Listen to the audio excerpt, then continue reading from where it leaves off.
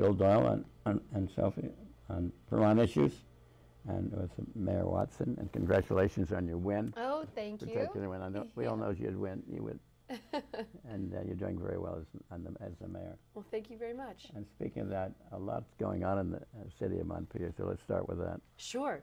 Uh, so we uh, recently completed our the goals for the year um, and our, our strategic outcomes, and uh, we are just so excited to be starting to work on some of this stuff. Let's, let's talk about some of the goals. Okay, so uh, I mean, as has been a goal um, for for many years, uh, we are looking to add more housing to the city. We know that there is a need for housing at all levels, um, from affordable to market rate, and so uh, with the new zoning that recently passed, uh, that seems like that would. Uh, clear the way for um, some um, new uh, and what we feel would be appropriate development for the city. So we're really excited about that. Um, and uh, in addition, oh, I mean, we have a, a net zero energy goal for the city, um, for the for the municipality, um, you know, for the city operations, but as well as for the community uh, as well. So we are continuing to make progress there. That's uh, that that's always something that I'm I'm very interested in. Um, and uh, you know, uh, that we have some other other goals as well. We have a newly formed um, uh, equity uh, or equality uh, committee, social justice uh, committee, which is going to be looking at um, some issues around social justice with the city, which I'm I'm really excited that they're going to be taking on. Um, and but, but more generally, we're going to be starting to track more data about the city. So, um, you know, we can have a, a really clear picture as to how the city is doing. Uh, so, you know, in terms of, uh, of jobs or population or, uh, you know, percent of vacancy rate for our uh, rental market or uh, those kinds of things. So, some, some population level data that we're going to start to um, keep track of as a city. And then um, we're going to be looking at, um, yeah, what kind of performance indicators can we use um, with the city as well. So, pretty excited about all of that. I could talk about any one of those things for a long time, um, but those are those are some some new things going on with us. Are you surprised about any of the information? Surprise surprise you? Well, I think. Um, uh, I mean, one of the things that I uh, was surprised about uh, this last year uh, I, think it was probably about a year ago, our, our, police chief came to us. He was there for another reason, and, and he happened to mention that crime in the city was down 11%, which that was that's great. That's great news. Um, and I, I was very interested um, to see like how does that fit in the larger trend? You know, how does that fit? Um, you know, what's what's the trend doing over time for the city of Montpelier, and how does that compare to Vermont, and how does that compare to the to, to Washington County or to, to the nation. Uh, so that's the kind of data that I'm, uh, I'm really interested in. Uh, what, you, what uh, are you looking for in the next 10 years? Oh, goodness. Over the next 10 years, uh, well, I would like us to make um, substantial um, progress towards um, sustainability. I am so passionate about Montpelier being a sustainable community. Uh, and so that means uh, that the city needs to make some um, significant steps towards that uh, because that's what we have control over, right? The, this is, these are our systems, mm-hmm. so we really need to be ourselves net zero. So, and I, I, think there's a lot of opportunity there. I mean, one of our priorities this year was um, prioritizing non-fossil fuel vehicles. So, you know, everything from uh, lawnmowers to uh, police cruisers. Uh, you know, we want to look at what are the options for us that don't involve fossil fuels. Um, or, uh, you know, if we can be incorporating more biodiesel uh, into our, um, our fleets, that would be great too. So there's a lot of options out there. Um, so that's one thing. Um, but then in two, I think, um, you know, looking at Montpelier as a part of a whole, you know, we are just one piece of Washington County. I think if we want to prevent um, really sprawl from happening, if we would like, uh, you know, places that are open landscapes now around us to continue to be open landscapes, then we really need to be developing in Montpelier. and so uh, I would like to see um, the, the number of housing units uh, increase. Uh, I think that also has implications for our population. Um, uh, I think there's there's this um, popular myth uh, that uh, Vermont in general is losing its young people, and there was a great podcast from Brave Little State recently that I'd recommend to anybody. Um, Where can we get it? Uh, so you can get that. I mean, it's put out by VPR, um, and uh, I mean, I, I, think you can subscribe to it as a podcast. So it's or you can listen to it online. Um, but uh, they they go into some of the the census data and look at um, you know what the populations are doing. And yeah, we don't have a lot of the people in their 20s, but um, the population of people in their 30s and 40s and, and other other um, uh, age groups are in fact increasing. So that I found very encouraging, and I think um, you know I think that I want that to be true for us as well in, in terms of uh, growing our, our population and, and the, the demographics in, in all demographics really here. So and, and really I want to communicate that Verm- like not just Vermont but Montpelier is is a place where there is a lot of opportunity. I mean we're we have a lot of jobs and uh, it's a great place to live. So we want to get that word out. Well, it certainly is a great place to live. Oh my gosh, it's so great. Selfie. Well, I like the net zero conversation, and yeah. I'm wondering what parts of that you guys have been working on, or what part of it is working. Like, sure. does GMTA have buses that are, you know, non-emission?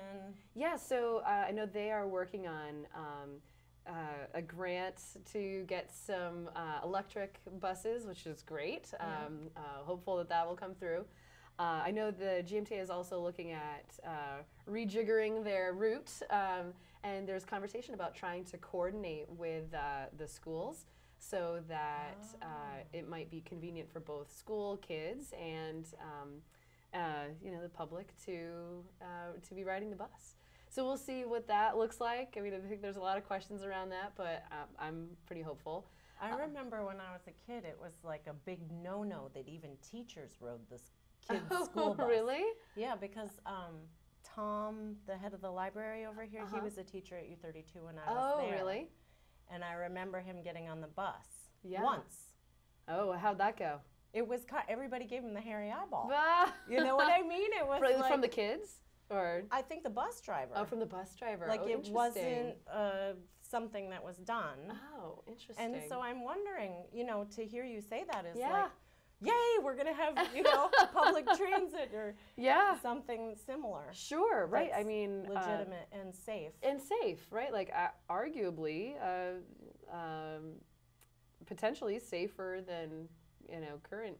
Uh, well, no, it's. I mean, we have safe safe busing now, but these buses might include uh, video cameras, which could be useful, and then, you know, just having other adults you know, or just on, on the bus.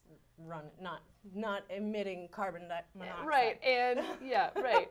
Um, yeah, so and it would be right if it's better for the environment. That would be that'd be great. So so that's one one thing. Yeah, go ahead. Uh, I was wondering about the wood chip plant. Yes. Is there some some data that you guys have got off of that that's been interesting? So I, I don't know the, the data off of that, but it's continuing to uh, operate smoothly. We've had no um, outages of service uh, since it started. Uh, it is uh, continuing to save people. Um, it's continuing, excuse me. Whew, it's allergy season. Woo. Oh, um, it's fine. Um, it's continuing to save uh, uh, taxpayers money um, because per BTU, it's still cheaper than oil. Um, so that's encouraging. So people are continuing to save. That's great.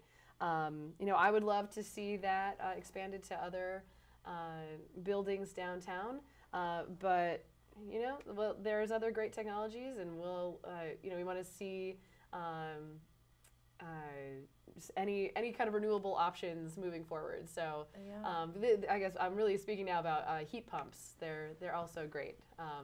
So, so on the French block, are they using heat pumps? Yeah, to heat well, I don't know about the? French block. I know on Taylor Street okay. they're going to be using heat pumps. Yeah. Interesting. Yeah, yeah. So heat pumps. I could talk about heat pumps for a long time too. As a physics teacher, oh, right. I mean, I I just love that technology. That's so it's so cool. Um, So and do you see it working in the cold climate? I do, yeah.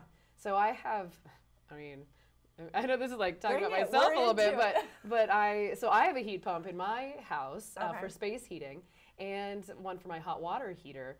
Uh, and uh, the idea is that you're using a little bit of energy, like a fan, basically a pump, to move heat from the outside of your house to the inside of your house. So with just a little bit of electricity, you can move way more heat than what you're using. So e- effectively, it's more than 100% efficient Right. uh, because uh, because the heat that you're gaining is way more than the heat than the elect- than the uh, the energy that you were using to move using. that heat into your house.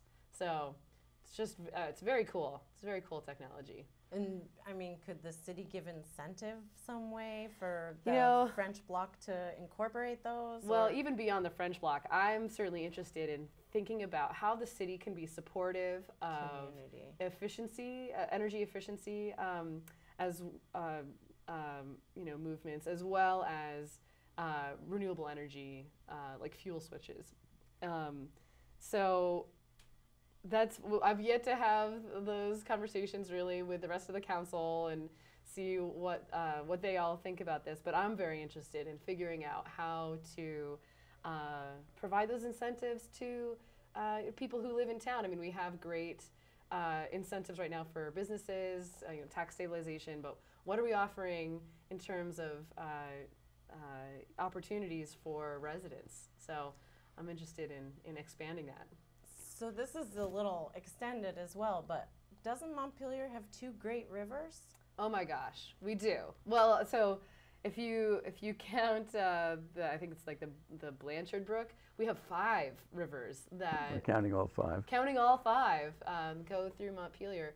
Uh, so, uh, gosh, one of the one of the goals of the city this year um, is to increase uh, the number of parks in the city and the access to the parks. And we are viewing the rivers as potential park space. Um, and so, how are we interfacing with the river? How are we uh, accessing uh, the river? So one of the one of the places that's of a lot of interest right now is uh, right at the bluff of uh, Taylor Street. Uh, that that project. So um, right where the North Branch meets the Winooski, uh, it's how do I?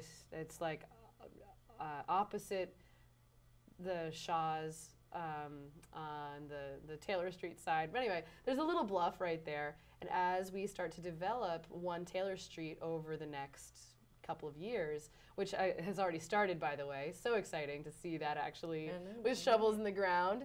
So great. Um, that little bluff right there uh, has been. Um, it's it's got a lot of potential because it's it's a beautiful little spot, and uh, we're there's a, a whole sort of corner of it there that we're not really going to be doing anything with. We might seed it with grass or something, but the idea is that uh, we're going to spend a little bit more time thinking about just that corner uh, and what could be done right there.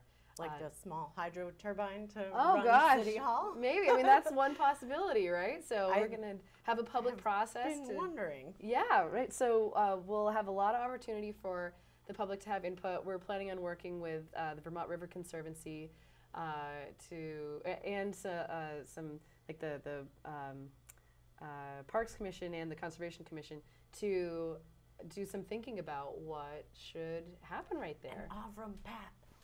Oh, who was that? Avram Patt was the head of Washington Electric Co-op for many Oh, years. Former sure. legislator. Oh, great, He's yeah. a legislator, and he's also really made sure that Washington Electric was all sustainable. Oh, really? Oh, that's so cool. And so that's part of why I love my electric car because Yeah. it's all renewable energy. It's all renewable. That's so great.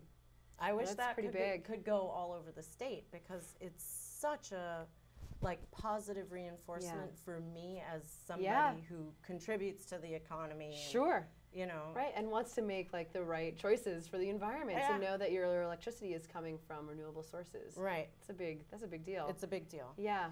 So I don't know. That's a really nice. Yeah, right. Like how do we incorporate renewable energy into that conversation? I that's that's a great question. And that river. and that river. Well, I know that so Washington Electric has uh, a, an electric power plant Up higher. up right? higher. Right. Yeah, I mean, I would love to ever see uh, refurbishment of the Lane Shops Dam. Yeah. Uh, I mean, that's that's That's a big one. that's a big one, and uh, you know, I don't know what it would take to to refurbish it, but you know, I, I there's got to be some some grants out there. Oh, I bet. right? There probably. I don't know. That's a that's a, a future conversation. I I hope. Um, uh, but anyway, uh, so yeah, we're going to be doing uh, a lot of good, a lot of good stuff right there. Well, speaking of rivers, um, m- many municipalities don't have any rivers. Uh, true. Municipalities would crave one river. You've Yeah. got, we've got five. And we've got five.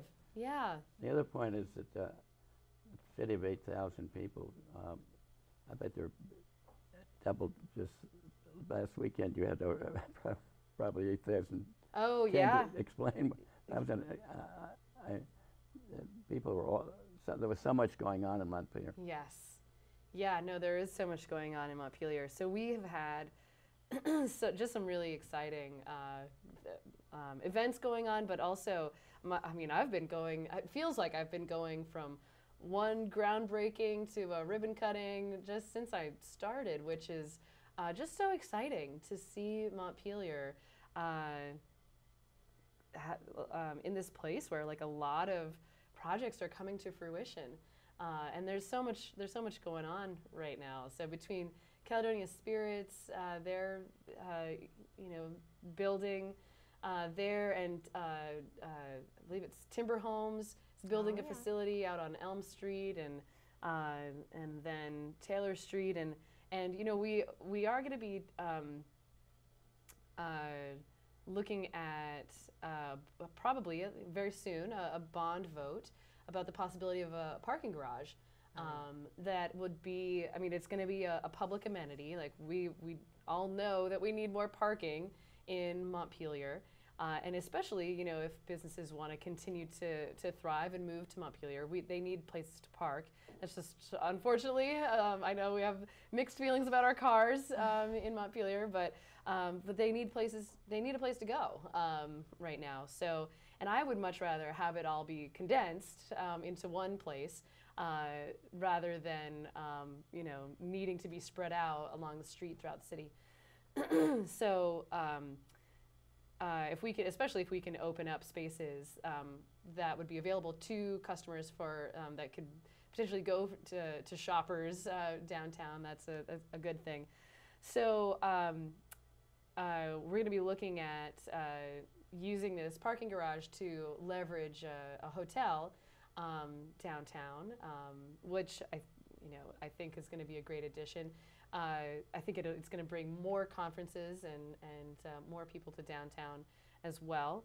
Uh, and then, um, you know, thinking about the uh, uh, just the next steps for that, right? Like, so we, we need to have this uh, this bond vote, which is very likely to be in November. So uh, we're going to have lots of information about that uh, coming up in the papers. So uh, we want to make sure that people are informed about that. But there's there's another thing too. Sorry, I'm, this is a little bit tangential, but I'm just thinking about things that are going to be on that um, on that ballot uh, in November. So uh, one possibility is that either in November or in March, uh, we may be taking up um, uh, a, a charter change. Uh, well, we'll see. We'll see which one it goes on. I'm not sure, it, but it might be on the November um, charter, or I'm sorry, the November ballot, uh, which is around plastic bags. So have you have you heard of the this this deal with plastic bags? No. Okay. So. Uh, you might have heard that uh, there are many communities around the country that have uh, banned plastic bags, or they tax plastic bags, or they have a fee uh, per bag, or something like that. Um, and I think you know we would like to explore um, doing something like that. You know, if we can be incentivizing uh, people to be bringing bags and not uh, using single-use plastic, that is all the better, right? Because that that does not it, it effectively does not decompose um, in landfills or anywhere else, uh, which is uh, that's a huge problem uh, worldwide. So I know that the problem of plastics is daunting, uh, but you know any step that we can be taking, I think, is a is a good thing. Uh, so. Uh, in order for us to do that, though, to, to either think about a ban or um, some kind of a fee, either way, um, we so we need to amend our charter in order to be able to do that. Uh, and so the the language that we're going to be looking at pretty soon um, addresses would would allow us to um, have an ordinance about plastic bags, but it's also pretty broad. Um, it also has to do with sustainability and um, energy efficiency and renewable energy. So um, it's uh, we thought there there might be a lot uh, there that we, we might we could imagine you know um, having uh, ordinances about uh, you know even in terms of thinking about our zoning if we have a minimum building energy code uh, you know what is that sitting on right? Like if we don't have jurisdiction to uh, to have ordinances or zoning about um, about energy then this is in a certain sense um, covering our butts, you know, as they say, right? To to make sure that it's um, uh, uh, supported by our charter language. So Mm. that's there's and there's other there's other things too. I mean, we're we're talking about compost and um, anyway, lots of other stuff. But um, uh, so anyway, that's going to be coming up um, pretty soon. Now, charter changes go before the legislature. Do yeah. So that language will need to pass the council and the um, uh, the public, and then uh, it'll go to the, the legislature for approval as well. And we'll see. I mean, I, don't- I don't know if they'll if I- they'll go for it, but I, hope think so. the, the legislature generally is supportive of municipalities that yes, want to have a charter they change. yes, they they certainly have been. So you had so many people in the last uh, four or five days, and what do people say to you about the city? Their, their, their perceptions of the city have been never been here before. Yes. So I have heard uh, from from people that they are just amazed at the city of Montpelier. They're like, "How did you, you know, how did you keep uh, Montpelier uh, so so beautiful and like with all these all these archi- um, historic uh, architectural buildings uh, intact?" And you know, I think it's we really have had. Um, great. We've I think we've uh, we've had some uh, really good processes around our design review committee and the uh, the development review board, and um, it really is it really is a special place. I was uh, just the other day hearing from someone from our the historic preservation committee um, who says that uh, you know people come to Montpelier and they are just um, who under who understand you know historic preservation and they are just so jealous Our of, architecture. of our architecture, of what we have here. I mean, we really have preserved uh, buildings uh, in, a, in such a beautiful way. So, and so much of our, our downtown uh, are historic buildings. Um, and I, you know, I think that's that's really important. And, and from an energy perspective, I mean, all, that's a lot of embodied energy that those buildings represent. So I'm I'm just so Oh, gosh, I feel so lucky to be the mayor of such a wonderful place. And the New England States will be visiting Montpelier in the next few weeks. Let's talk a little about, about yeah, that. so Montpelier just uh, was, um, uh, I guess I'm not sure what the right word is, uh, awarded, uh, designated as going to be the location for uh, th- an upcoming, uh, basically a, like a creative economies um, uh, conference that's going to be in 2019. So uh, I believe it's the New England Foundation of the Arts uh, sponsors this conference. That's the Creative Communities Exchange, and uh, as as I hear, uh, it's a it's a pretty big conference, and so a lot of uh, you know creative folks uh, in that world are going to be coming to Montpelier, and uh, you know so much thanks to you know the Center for Arts and Learning and the T.W. Wood Gallery and uh, you know the Vermont Humanities Council and uh, the um, you know the the Vermont College of Fine Arts and gosh I'm gonna I'm gonna not gonna be able to list all of the, the people that help make that happen but they're um, uh, it's just it's so exciting to to have such a big conference coming here next year.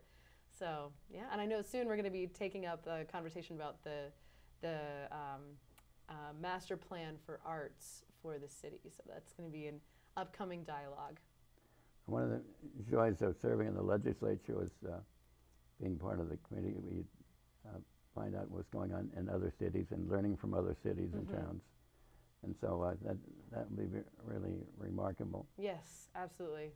No, it's so helpful to have connections across municipalities, even in uh, other states, uh, just to know like this is how other people are um, solving the problems that are common to cities. I mean, we're all most cities are dealing with the same kinds of problems. You know, opiates, h- lack of housing or lack of affordable housing, and um, Is the, Yeah. I'm sorry, is the Council okay. of State Governments part of that conglomerate? um, oh, that's bringing that conference. Yeah. Um, I don't know. I don't think so, but I could be Bill wrong. was I'll- part of the, I, I've been in, Oh, for really? I will be in touch with them, and uh, that was a joy to be part of that committee. Yeah. Oh, that's so wonderful. And I, I'll be talking to them before they come, Oh, that's great. That's And- great. give them a briefing. That's So, all. That's uh, excellent. Any, any, any other questions you have, Stephanie? well, I'm wondering if she has another question right here that we should ask. Oh, the strong mayor, what difference between a strong mayor, political scientists di- di- divide cities in strong mayor and weak mayor. Yes, take, sure. us, take us through that terminology. Yeah, sure. So uh, Montpelier has a weak mayor form of government, uh, local government. Uh, It isn't necessarily bad because no, it's not. You're right. It's not necessarily bad. Um, it's just a, a different. Uh, it's just a kind of setup um, uh, for the way things work. So uh, in a strong mayor form of government, it's the the mayor who uh, is has a full time job with the city, and they are making decisions about initiatives and. Uh, uh, they have the ability to hire and fire staff, and they're managing the day-to-day operations um, of the city. So like example, Burlington, Burlington. Rutland, Brattleboro. Um, I don't think Brattleboro has Okay. a strong mayor form of government, but um, but but Burlington, Rutland and Burlington Rutland. both So do. it's population based? Well, uh, as I hear, um, having a larger population does lend itself um, more easily to having a strong mayor form of government. um, and uh, there are only eight uh, official cities in Vermont, and so two out of the eight have strong mayor um, s- um, systems, and the others have weak mayor systems or um, council manager kind of um, systems. So the um, or maybe maybe that's different. Anyway, I shouldn't confuse those things. Uh, so uh, for Montpelier, I mean, we have a, a city manager who is the person who is uh, you know hiring and firing, evaluating uh, city staff. Uh, and then, uh, you know, they- he's running the day-to-day operations of the city. And that's Um, Mr. Odom. Oh, nope, that Oh. is uh, Bill Fraser. Oh, Mr. Fraser. Right? Yep, Okay. yep. Uh, and then uh, the council, uh, including the mayor, uh, has one employee, and that is the city manager. So uh, you know we so we manage the the city manager, uh, and so uh, the- otherwise uh, the the council is a, a policy making body. Um, and so we're, we might be setting the vision, the direction, um, the policies for the city, and then it's up to the city manager and the city staff to carry that out. Implement. Yeah, to implement. Um, but with a strong mayor form of government, it's that it's the the uh, that mayor who is uh, m- more vision setting um, for the for the city. Uh, so and so as as we are right now, I mean, as the mayor of Montpelier, it means that uh, I am the um, more or less the facilitator of the council. So I run council meetings. Um, but then I think in our charter, it also says something about being a figurehead for the city. So Doesn't uh, say figurehead, does it? I, I, might, I think it might actually. We'll have to work Um, on the. yeah, right. bust. He's mm, Yeah, yeah. that's the So- last thing you, you want to be called. Oh, I know, right? Well, and like I get it. You know, I'm I'm happy to to you know talk to the press and to the shoes. uh, yeah and to represent. Like it's it's fine and um and it's fun even, but Uh, but it also means that I have another job. so whereas like the mayor of Rutland or of Burlington, uh, you know, that's their full time Their focus. uh, yeah, their full time job. Um, for the mayors in the other cities um, who are, are weak mayors, uh, uh, we, you know, we have we have other jobs. Right. Well, So, it's been a great interview. Is there anything you'd like to add that you, we, you'd like before we, we close the oh program? gosh, well, I just want to. Well, actually, we just had a, a um, primary yesterday, and we had such great turnout um, for that. And uh, I, that was the first time I'd ever had to wait in line to vote, and I'm just so I'm just so proud of us for for getting out to vote, and I, I hope that people will also turn out in November uh, to to continue to to do their civic duty. Come out and vote. You're tapping me on the shoulder? I was saying, well, thanks for the primary opportunity, yeah. Bill. Wasn't that something you had something to do with? Right, well, I, they, it was, it was, the, the whole legislature had to vote on it, but it did increase it, the participation of people in the process. Oh, good. Yeah. Wow. What And- year was that, Bill? Do you remember? I'd say 15 years ago. No, I think it was longer than that, wasn't that? It was when you Well, first get- uh, became. Let's make it 20, active? let's make it 20 years. yeah, we'll say 20. But there you go. There you go. Bill helped implement that Vermonters could participate in the primaries. Oh, wow. Before he um, introduced that bill, Vermonters were not allowed to participate in primaries. You had to Oh say, my you had to take your party before you voted. Oh, wow. Yeah, no. Yeah, we handed people, you know, three ballots and they could choose privately which one they, they wanted to Right. use. That, that was you. Thank Well- you so much. Well, a lot of other communities have the open primary, and I think it just, it allows people more participation. No, I agree. I agree. That's great. Um, it, it's been wonderful visiting with you. Uh, any final comment?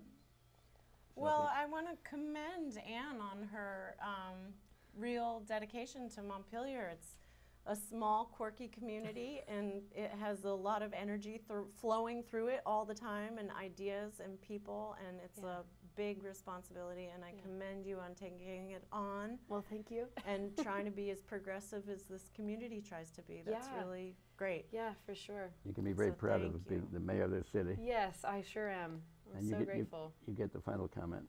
Oh gosh. Uh, well, just thank you for for having me. It's always just such a delight to to come here and talk with you. Well, Thank you for coming. Thanks for the great job that for you're sure. doing. Thank you. I appreciate that. Yay. Yay.